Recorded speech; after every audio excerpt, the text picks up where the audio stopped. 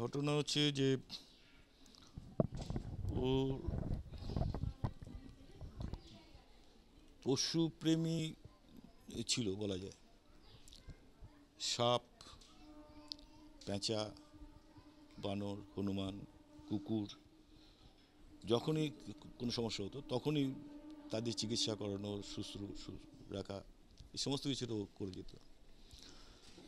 আর forest ডিপার্টমেন্টের সঙ্গে ওর একটা টাই আপ ছিল আর কি। ফরেস্ট ডিপার্টমেন্ট থেকে বিভিন্ন সময় ওকে খবর দিয়ে নিয়ে যেত যে কোথাও হয়তো সাপ ধরতে হবে কি অন্য কিছু করতে হবে। সেই হিসেবে ফরেস্ট ডিপার্টমেন্ট থেকে ওকে জানায় যে নৈহাটির হাজিনগরে চন্দ্রবোড়া সাপ দেখা দিয়েছে, সেটাকে ধরতে হবে।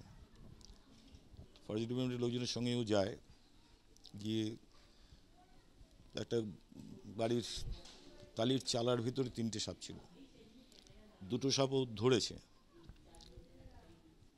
থার্ড সাপটাকে যখন ও ধরতে গেল আর কি, ধরেছে সেটাকে, ব্যাগে পুড়তে গেলে যখন, তখনই ওটা উল্টে ওকে ছোবর মারে।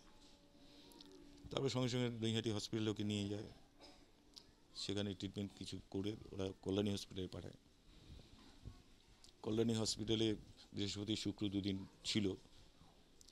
কালকে সকাল থেকে মানে অবস্থাটা খারাপ হতে থাকে প্রেশারও ফল করতে থাকে তখন ওরা আর কোনো রিস্ক নিতে চাইলো না। ওরা রেফার করে মানে রাখবে না বলে দিল আর কি। ফলে ওকে আরজি করে নিয়ে আসা হয়। কিন্তু ওখানেও কোনো বেড ছিল না। ফলে বাধ্য হয়ে নিয়ে এসছে বিএন বোস হসপিটালে পথেই মারা যায়। এই হচ্ছে ঘটনা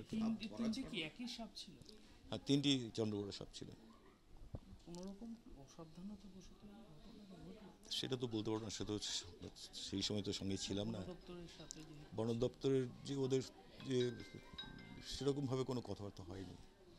সাপটা ধরা ওর তো দীর্ঘদিন ধরে সাপ ধরছে বিভিন্ন জায়গায়। আগের দিনও তিরিশ তারিখও দুখানা সাপ ধরে নিয়ে এসছে। এবং তারও আগে উনত্রিশ তারিখও সাপ ধরে নিয়ে এসছে ও।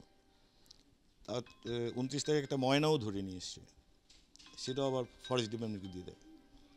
ও রেগুলারই প্রায় সাপই ধরুক বা যাই করুক সেগুলো হচ্ছে আবার ফরেস্ট ডিপার্টমেন্টেও দিয়ে দেয় জমা এবং ফরেস্ট ডিপার্টমেন্টে সেগুলোর যা যা ব্যবস্থা করে সেগুলো করে। মানে আমরা যেটা চাইছি সেটা হচ্ছে যে আমি সিপিএমের পক্ষ থেকে চাই ও তো এলাকার মানুষের সঙ্গেই ছিল এবং সব সম্পর্কে যথেষ্ট হ্যাঁ, প্রচণ্ড পরিমাণে। হ্যাঁ মানে সাপ নিয়ে ওর কিন্তু বিভিন্ন জায়গায় এক্সিবিশন করানো, লোকজনের ভিতর প্রচার করা, যে সাপ কী ধরনের হতে পারে, কোন ধরনের সাপ বিষাক্ত, তার জন্য কী ধরনের ট্রিটমেন্ট করতে হবে, এটাও কিন্তু রেগুলার করতো। এমনকি বিভিন্ন স্কুলেও এই কাজটাও করেছে। এখন আমরা যেটা চাইছি যে প্র্যাকটিক্যালি ও ব্রিটেনিয়া ইঞ্জিনিয়ারিংয়ে চাকরি করতো, দুস্থ একটা কোম্পানি তাও অল্প দিন করেছে। সেখানে মৃত্যুটার ফলে সংসারটা স্বাভাবিকভাবে খুব বিধ্বস্ত অবস্থায়।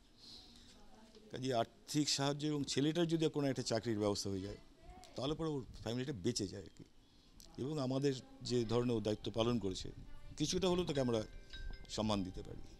এইটাই আমার নাম অজয় বর্মন রায়।